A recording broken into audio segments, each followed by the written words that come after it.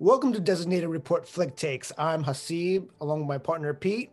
We're going to be talking about Zack Snyder's Justice League. Mm-hmm.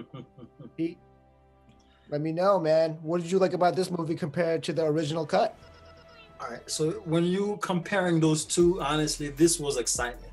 Okay, this I, I thought I, I was a little more excited watching it than the first one because the first one has so many unanswered questions. By the time it was done, you were like, okay, what happened? I mean, you know, is there something you want to tell me? Because a lot of these questions, a lot of the scenes were somewhat called transition into something else, but you kind of now see how they should have ended. so it kind of helped answer a lot of the questions. Now, you know, so was it like the best movie? No, but I would I definitely appreciate it a lot more than the first one. Yeah, me personally, I enjoyed the fact that we had more context mm-hmm. with uh with the Flash's backstory and Cyborg's backstory. I feel like in the first movie we didn't get any of that at all. So, yeah, yeah, I appreciated that. And with four hours, they mm-hmm. better have done all that. Otherwise, what was the point of all this? And the thing is, you know, given that you they didn't do any standalone movie for a lot of these movies, backstory, you know, should have been was necessary in the first one because yeah, some people read the comics, others don't. But mm-hmm. you know, if somebody just want to see the movie, they should at least know where this came from and that came from. Can't give them half of the story and assume that everything was okay. Because I didn't realize in the movie that there was such a big problem between Cyborg's father and, and his and the son. Yeah, I mean, you know, father and son may have their their issues, but there was more to that, you know, that they didn't explain in the first one, and this one definitely answered those questions. So. All right. Uh, do you have any MVPs?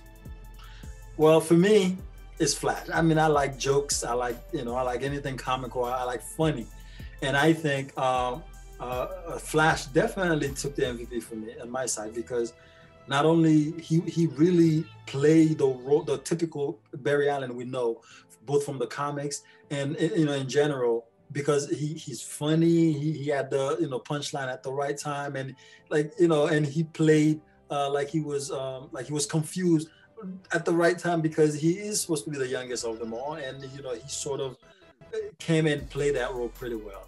So I appreciated him a lot more. So I'd give him the MVP for this one. Yeah, I liked Ezra in this movie. Um, he was really, really good, really funny, and I appreciated his comic relief. Um, I I agree, uh, but I will go a different route. I'm gonna go with uh, Jason Momoa as Aquaman.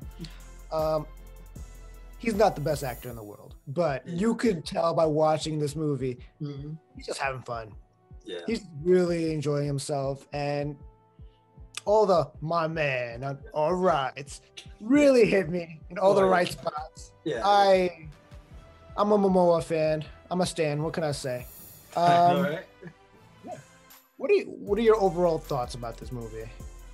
Well, other than the fact that it was I mean, twice as long as the, the, the original one, I, I think uh, that movie uh, it definitely uh, give us more character development which was very appreciated, of course. But I think four hours was not necessary. I think this oh. movie could have been it could have been 30 minutes shorter and still would told would have told the same, uh, give you the same information, would have told the same story. But I think a lot of dragging sometimes was unnecessary. But it's, I don't know, Zack just he likes to take his time. I mean, you know, a lot of these movies he's made before, you can tell. You know, in some instances he would uh, he just kind of come out and and, and uh, drag his feet and tell you sit down and enjoy the cinema. You know, so so I, I thought overall it could have been a 30 minute less and still you know be a, a good a good movie, but you know it is what it is. But I I I, I enjoyed it though. Yeah, no, I agree with you, man. It's like it's still entirely way too long. Like I appreciate 12 minutes, man. yeah, four hours and 12 minutes. Yeah. Like he I wish he was a little bit more efficient, but mm. Zack being who he is, likes making a lot of grandiose movements. Um, yeah, dude, way too long. Um, I would like to mention one of my favorite scenes in this movie. Actually, my favorite chapter is chapter two.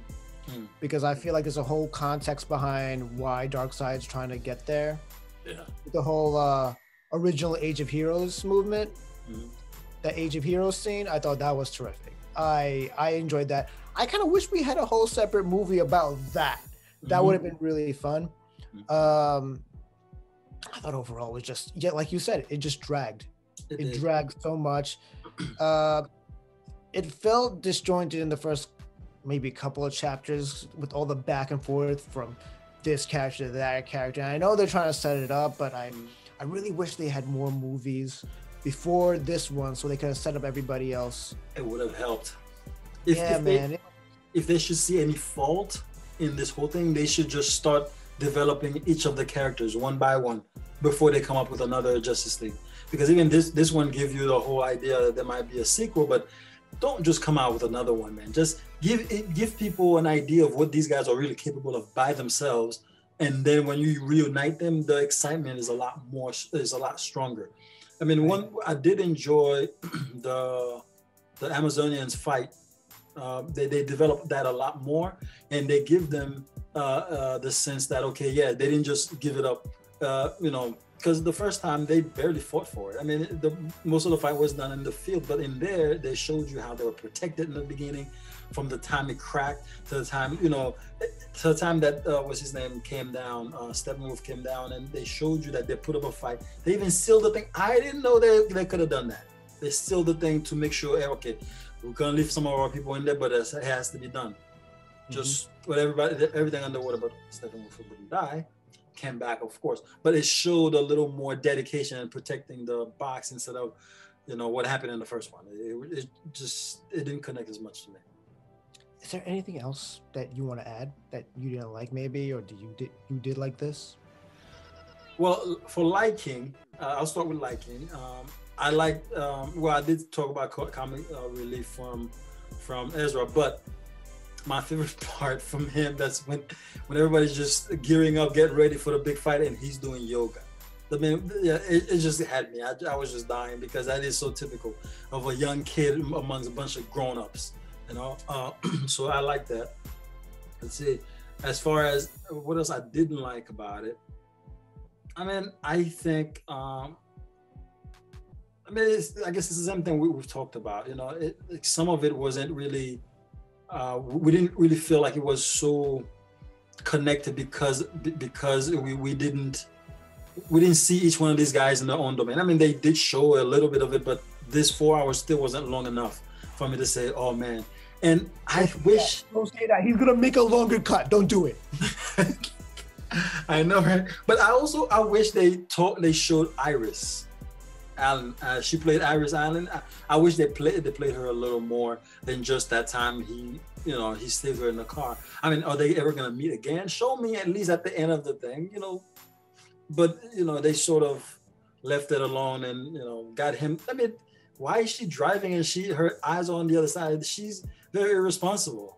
Give her a driver's license. I know, right?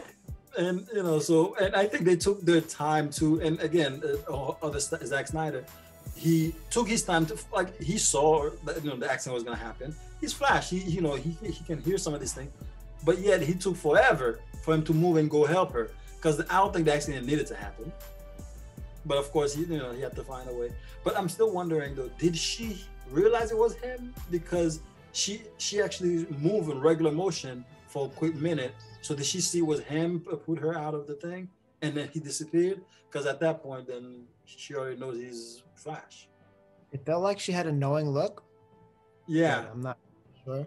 yeah, Yeah. I, I don't know, but yeah, it, it, it just got me. But anyway, so even if the second one was better than the first one, this one still had its own, its own questions, but questions I can live with for a little longer.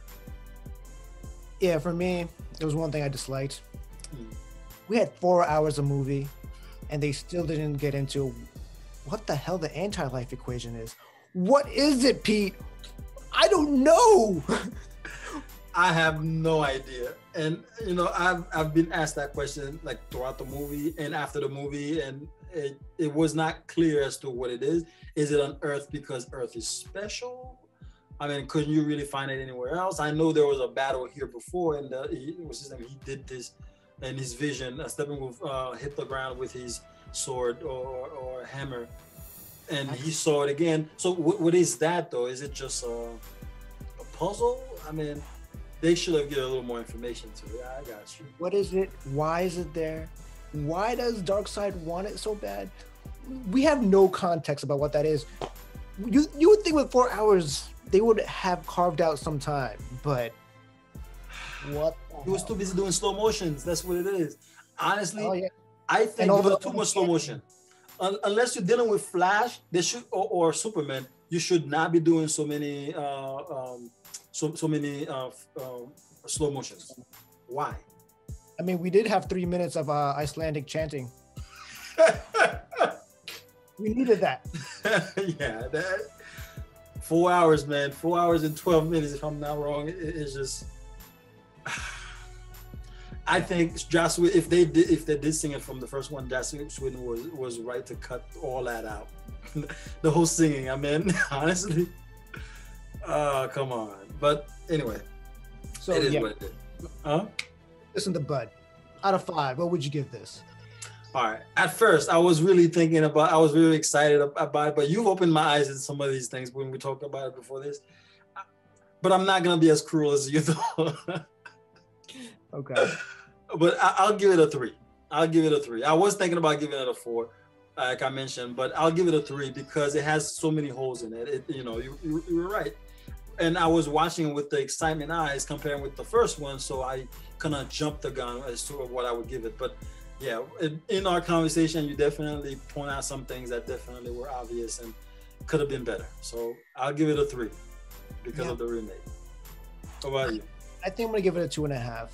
Um, I, as much as I've been hating on it during this review, it, it was still a little fun. it was. Zack Snyder can do one thing: it's shoot the hell out of an action scene. Mhm. Oh, oh my gosh. Yes, yes, Yeah, so yes, definitely. he's excellent at that. Mhm. One of the best. And yeah, as much. It's it's an okay movie. It's fine. You know what I'm saying? Much better than the original cut. Much much better. I mean, we Oh, can the all original agree on- cut was a terrible movie. Yeah. And I mean, I still give more than you did, but but I the thing is when, when somebody put a movie together, you know, you'll find some holes, you'll find some issues with it. Um, but I guess because you know I was waiting for all these guys to get together, and so the first one I I, I give it a one when I get when I scored it. Granted, a lot of people were talking about it as if that thing didn't exist. That's how bad it was. But uh, I appreciate it as Zack Snyder did try, and then given that it wasn't all his fault, which just proved it, Joss Whedon took some of that fault. So, two directors I like doing the movie, I kind of owe each one of them at least half a point. That's why I give the first one the one point. Yeah. But uh, as much as I don't want to give Zack Snyder credit, I mean, this is a minor miracle that he made, that he took an incoherent original cut of the first movie and he made it somewhat watchable, you know?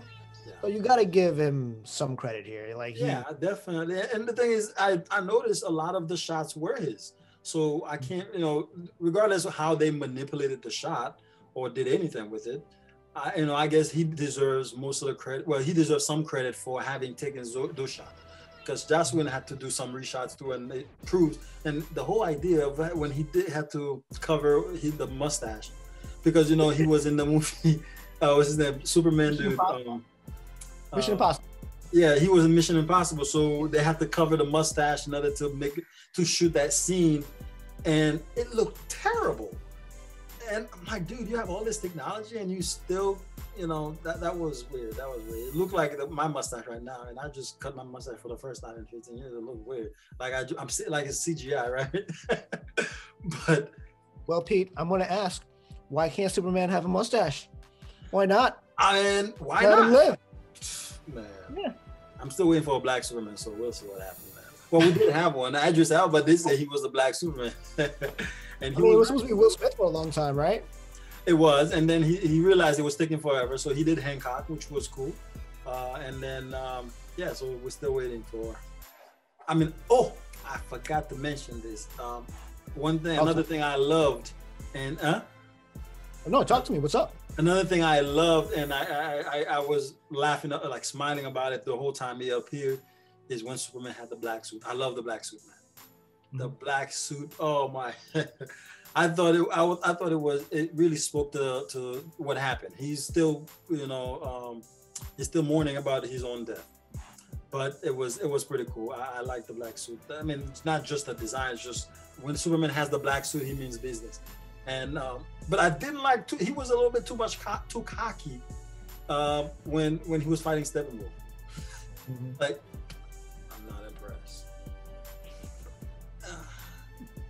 kept it a little more humble. That, the Superman we know was a humble person, right? Mm-hmm. This one was a little more cocky. Maybe Death can do that too. I don't know. But I mean, it's kind of Zack Snyderfied, right? And yeah, so exactly. Yeah. yeah. So that's true. That's true. So, yeah, because yeah, even Batman. Yeah, yeah, um, yeah. The whole "I'm rich" thing, I still don't care about that line. What's your superpower? Um, there's a million things you can say. I mean, it's it's true. It's yeah, kind but, of true. But naming the obvious doesn't really impress me as far as give me something a little more snappy. You know, I'm rich. Mm, yeah, I know. I steal a car. You know all that stuff. You know all the gadgets and stuff. Everybody knows Bruce Wayne. But it was a little bit too much, on the, like too obvious for it to be uh, like a you know smart. I don't know. But anyway, anyway. So well, anyway, before we let this go off the rails, and this is the four-hour designated report cut. Mm-hmm. let's just say goodbye to everybody and thank you for watching Designated Reports Flick Takes. Appreciate That's. Pete. Mm-hmm. I'm Hasib. Peace out. See ya.